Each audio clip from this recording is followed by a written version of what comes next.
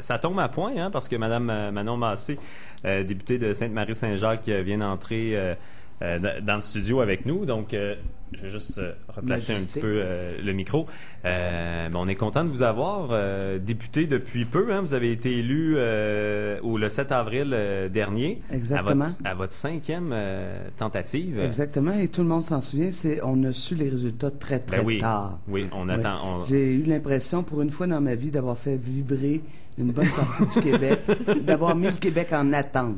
C'est vrai, ça, on, s'en rappelle. Mais ben, justement, on parlait du Forum euh, social des mhm. peuples. Vous avez travaillé euh, beaucoup, beaucoup, justement, pour dans le milieu communautaire euh, au cours des, des, des 30, des 30, 35 dernières... années, mais j'oublie le 5 de ce Ben oui, c'est ça. Donc, vous êtes finalement élu comme député. Comment voyez-vous votre rôle en tant que nouvelle députée, troisième de Québec solidaire? Oui. Ben, je pense que tantôt, Hubert parlait de démocratie. Je pense que ce que une des contributions de Québec solidaire fait, puis mon arrivée fait ça aussi, c'est de rappeler que la démocratie, ça nous appartient. Euh, ça n'appartient pas aux économistes, ça n'appartient pas aux politiciens, ça appartient au peuple. Je pense que moi, c'est ça que j'illustre par ma présence à l'Assemblée nationale. Et euh, c'est sûr que c'est particulier. C'est, euh, moi, je viens des mouvements sociaux. Euh, je, suis donc plus habitué à une, démocratie beaucoup plus participative que mm-hmm. celle de se faire bloquer sur une page Facebook. Mais si ça peut te rassurer, Hubert, je veux dire, j'étais avec Vincent Marissal de la presse il y a quelques jours sur une tribune commune et Stephen Harper tourne pas plus ses appels. Alors, prends-les pas personnels, c'est ça que je voulais dire. Alors donc, je pense que mon arrivée là, c'est une poignée, une, dans le sens de une poignée, comme on le dit, de plus que se donne le peuple québécois pour être entendu, parce que le discours de Québec solidaire, c'est définitivement un discours à compte courant, et ça, on l'entend pas souvent, puis moi, ça me fait plaisir d'être un porte-voix de plus, parce qu'il y en avait déjà avec Françoise et Amir, mais d'être un de plus, puis je vais faire ma job. Ben oui, mais justement, vous dites que c'est un discours qu'on n'entend pas beaucoup, puis même, je dirais que c'est, il va falloir euh, un contre-pouvoir fort parce qu'en ce moment, avec le, avec ce qui est prévu dans le budget de Carlos Letao, avec aussi euh, bon les toutes les mesures de rigueur ou d'austérité, là, dépendamment. Prenons comment, les vrais mots. Prenons les vrais mots d'austérité. Euh, je pense que M. Couillard cherche à couper 3,1 ou 3,2 milliards de dollars. ce n'est qu'un début. Ce n'est qu'un début. Comment vous voyez ça, cette manière d'envisager les choses? C'est assez radical. C'est radical, ça peut être décourageant. Déjà, on a une, nous autres au Québec, souvent, on, c'est comme si ce qui se passe au Canada, c'est comme si ça se passait dans un autre pays. Mm-hmm. Euh, on, on se sent plus ou moins euh, souvent comme Québécois et Québécoises euh, touchés. Mais ce que M. Harper a fait dans les neuf dernières années, c'est pas drôle. Et moi, quand je vois l'enlignement des, des derniers gouvernements successifs, Là, présentement, on parle de M. Couillard, mais je, on pourrait aussi parler des, des de la même politique d'austérité qu'avait Mme Marois avec M. Marceau à, à, la tête des finances que M. Charette. C'est comme c'est vraiment un enlignement qui est pris depuis plusieurs années, depuis une vingtaine d'années au Québec. Euh, je pense qu'il n'y a qu'une solution et c'est, heureux qu'on se rappelle a des bonnes nouvelles comme le Forum social, le Forum des peuples, pardon, qui est en train de, qui, qui est ouvert aujourd'hui euh, à Ottawa pour rassembler les forces militantes. Mais je pense très sincèrement que ce qui va faire que le Québec progressiste, le Québec de gauche, le Québec qui veut le bien-être pour tout le monde, pas juste pour une, une poignée de monde. Ça va être vraiment, euh, parce que je pense que c'est vers là qu'on va, les gens qui vont prendre conscience et qui vont prendre la rue de plus en plus, parce que c'est ça notre force, c'est le nombre. Il y a bien plus de monde qui vont souffrir des coupures et de l'austérité des gouvernements, qui vont en avoir, qui vont en bénéficier. Et moi, je pense qu'il faut se redonner la légitimité de dire que ça n'a pas de bon sens, que les choix qui sont faits, on n'est pas dupe, on le sait qu'ils ne sont pas faits dans l'esprit, dans le sens, pardon, du bien commun. Et là, on a un avantage, on a un parti politique qui a maintenant trois députés. C'est assez unique en Amérique du Nord actuellement. la planète entière est en train de revirer à droite. Mm-hmm. Alors, au Québec, on fait pas les choses comme d'habitude, comme, comme d'habitude, on fait pas les choses comme tout le monde. Et présentement, on a trois députés. Donc, moi, je pense que c'est dans cette diversité des tactiques, si on peut dire. Je viens du monde communautaire, mais je suis pas une politicienne qui veut faire de la politique. Moi, si je suis à l'Assemblée nationale, c'est parce que je veux changer les choses. Je veux que la démocratie serve le peuple. Puis, ça sera, je pense, notre seule façon de nous en sortir. Ça va être que les mouvements sociaux restent euh, indignés de ce qui est en train de se passer, le manifeste, l'exprime et se rappelle qu'il y a à l'Assemblée nationale un parti politique qui mhm. peut faire écho. Mais c'est ça. Vous avez, vous semblez voir peut-être le, verre euh, plus plus plein que moi là, euh, mhm. quand on prend l'expression à, moitié vide, à moitié mhm. plein. on pourrait dire aussi que trois députés de Québec solidaire avec 7,64 des, des votes, alors que le parti existe depuis 10 ans. C'est pas si élevé que ça, donc c'est pas une grande progression. Donc, est-ce que est-ce qu'il y a un appétit dans la population pour ces idées-là? Euh, c'est oh, fantastique ce que vous faites, mais on se dit, ça marche pas. ça donne. Qu'est-ce que ça donne, oui. Deschamps l'a dit bien avant. À chaque fois que le peuple essayait de se donner des moyens pour se sortir des, euh, des entraves dans lesquelles on est, il y a toujours la question que ça donne. Hein? À mhm. l'époque d'Yvon Deschamps, c'était les syndicats que ça donne. Mais ça a donné quand même des conditions de travail pas mal intéressantes pour une partie importante de la population au Québec. Mais ce pourquoi je vois le verre plein, c'est que si je le vois à moitié vide, là, ça va pas bien. Hein? Qu'est-ce qu'on va faire? Si on se met à dire qu'on n'a plus de pouvoir, qu'on ne peut plus rien faire? Et c'est juste ça qui attendent.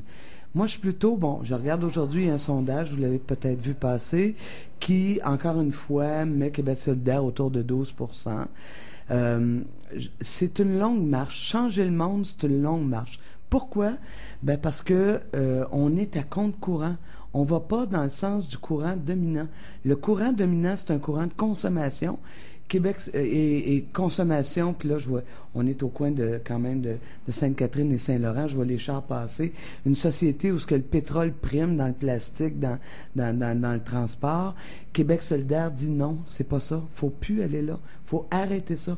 On dit pas arrêter d'avoir des chars, ça fait partie de la vie. Il faut le faire autrement. Mais ça, c'est à compte courant, ça va complètement à l'encontre de des grands possédants de ce monde. Et bien sûr, les médias, et c'est pourquoi que des radios indépendantes comme CIBL sont fondamentales.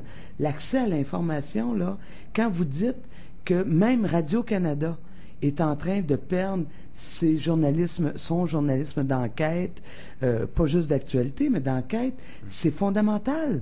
C'est nous, le peuple, qui allons nous trouver privés d'informations pour faire notre jugement. Et là, on va se trouver informé par des endroits qui sont financés à 100 ou j'exagère 100 mais euh, dans le cas de Radio-Canada, plus de, plus de 60 euh, euh, par l'entreprise privée, hmm. par la publicité. Alors, on entend de plus en plus d'ailleurs à Radio-Canada, l'espace musique, par et voilà. Et on ne s'en sortira pas. C'est les modèles d'affaires. Et ce qui rend difficile la montée, mais moi j'aime mieux monter d'un pour cent par année. À un moment donné, le bateau va virer. J'arrête pas de dire au monde, si on veut que ça change, il faut tout qu'on se mette du même bord du bateau. Puis là, le bateau va chavirer. Ben, parlons-en du même bord du bateau parce que depuis plusieurs années, euh, beaucoup de personnes, bon, il y, a le PQ et je pense que le PQ, oui, a eu peut-être, euh, et c'est vrai, une politique peut-être un peu plus calquée vers la droite, mais quand même, mm. on sent chez le PQ aussi puis je, pense que vous, en êtes conscient aussi quand même, une, faction de gauche dans ce parti-là qui, est toujours présente avec euh, plusieurs personnalités, tout ça. Beaucoup de militants aussi, péquistes, syndicalistes, sont de gauche. Donc là, on, se pose la question, on, a le Québec solidaire, parti indépendantiste, euh, le Parti québécois, parti indépendantiste, Option nationale, parti indépendantiste. À chaque élection, la, dernière élection, là, vous avez, vous avez gagné dans, votre circonscription, mais il en fallait peu pour que ça soit une libérale euh, qui passe. ça aussi, c'était un stress pour peut-être oui, voilà, Québec. voilà, qu'on a veillé tard pour Et on avait.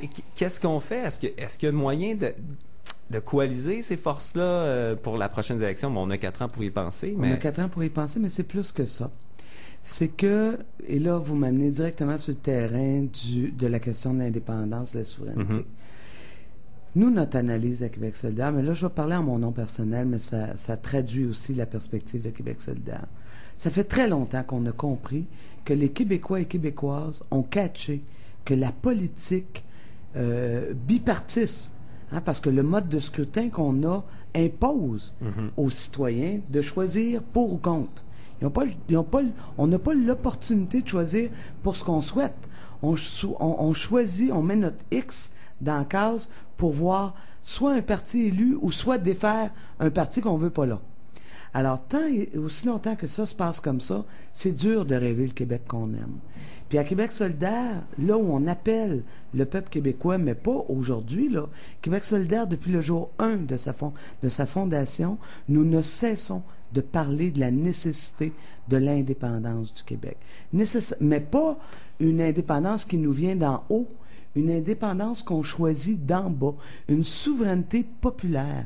Et ça, c'est important parce que la démarche qu'on propose à Québec solidaire, la démarche de constituante sur deux ans, où on va appeler les consensus sociaux, au lieu de faire un référendum de 33 jours où on va se garrocher de la boîte pendant 33 mhm. jours, et là, ça sera à celui qui aura garroché ou reçu le moins de boîtes qui va, qui va l'emporter, ou on a vu des excès comme en 95 avec le, le, le reste du Canada qui s'en mêle, et etc. Nous, à Québec solidaire, cette démarche de souveraineté du peuple, on y croit. On pense que le peuple québécois c'est pas que le peuple ne veut plus de l'indépendance. On a vu les sondages, là. Tu sais, après l'élection, je sais pas si vous vous rappelez, c'est comme si tout d'un coup, les jeunes n'en voulaient plus de l'indépendance. Le peuple n'en voulait plus. Il avait rejeté le bloc, là, il rejette le PQ. Nous, à Québec solidaire, on est très serein là-dedans. On dit non, non, non. Ce que le peuple ne veut plus, c'est d'avoir un concept d'indépendance. Ce qu'on veut, c'est savoir pourquoi on veut être indépendant? Et nous, à Québec solidaire, on est clair. On veut être indépendant des forces qui vont à l'encontre du peuple. Et ça, ça veut dire avoir un projet de société qui prend soin de l'environnement, qui prend soin de la population et qui fait qu'ensemble, on se donne un pays qui nous ressemble, qui, qui nous fait du bien. Si on fait un pays pour faire en sorte qu'on ait juste de l'austérité pour les 20 prochaines années, moi, je comprends le peuple québécois qui dit non merci. Hmm. Mais moi, alors, quand vous parlez de se rassembler, j'entends actuellement M. Drainville qui dit, ah, il faut revoir l'indépendance, il faut, faut, la mettre au goût du jour. Ben moi, j'ai dit à Bernard, un moment donné, dans une entrevue, ben il faudrait juste que tu regardes qu'il y a déjà des gens, des jeunes, qui depuis huit ans avec Québec solidaire, euh, quatre ans maintenant, trois ans avec Option nationale, l'ont redéfini le goût du donc, jour. Donc, le goût du jour, c'est aussi, par contre, le, consensus, parce que dans une société, euh, oui, vous avez des idéaux de gauche, tout ça, mais il va y avoir des gens peut-être nationalistes avec plus une tendance centre, centre-droit, tout ça. Donc, il y a moyen peut-être de rassembler ces gens-là. Vous, seriez capable d'être assis à la même table ou dans une même assemblée constituante pour définir le projet avec ces gens-là? Sans aucun problème. Parce qu'une constitution, hein, un référendum, c'est une chose. On veut-tu ou non être un pays? Mm-hmm. Une constitution, c'est pas si on veut-tu ou non un pays. Une constitution, c'est qu'est-ce qu'on veut vivre ensemble. C'est quoi qui nous rassemble. Pas c'est quoi qui nous exclut parce qu'on porte un voile ou on n'en voile pas. C'est qu'est-ce qui nous rassemble. Et moi, Québec solidaire, on croit profondément que si on met le peuple en marche dans un pays de projet, dans ce, dans ce pays que, oui, moi j'aime parce que je suis né ici, puis je suis blanche, puis je parle français, mais parce que je cohabite avec des gens qui sont peut-être pas nés ici, qui parlent peut-être pas la même langue que moi, mais qui vivent sur le même territoire que, mais même, pardon, territoire que moi. Ça, ce projet-là, moi je pense qu'on est capable de se rassembler. Je prends juste comme exemple les ressources naturelles. Moi, je suis certaine que si on mobilise la population à venir échanger sur, dans notre Constitution quel espace on veut laisser aux ressources naturelles du Québec, je suis certaine que la réponse, c'est on veut que les ressources naturelles soient au service du peuple. Mm-hmm. J'en suis certaine. Bon, je vais aller à l'écoute. Peut-être que c'est pas ça que le monde va, me dire. Mais j'ai un, petit guess que c'est une ressource, on est là, c'est à nous autres. Mais il faudrait bien que ça serve à nous autres et pas comme l'éolien qui, dans le fond, l'air appartient à tout le monde. Comment se fait que c'est les mêmes qui font le profit dessus? Ben, c'est intéressant. Je retiens justement de, il faut voir ce qui nous rassemble plutôt que ce qui mm. nous divise. Ça, c'est, je, suis parfaitement d'accord avec vous là-dessus. Sinon, euh, rentrée parlementaire, ça s'en vient bientôt pour vous. Euh, vous ben, je vous attends tous et toutes. Qu'est-ce que vous attendez?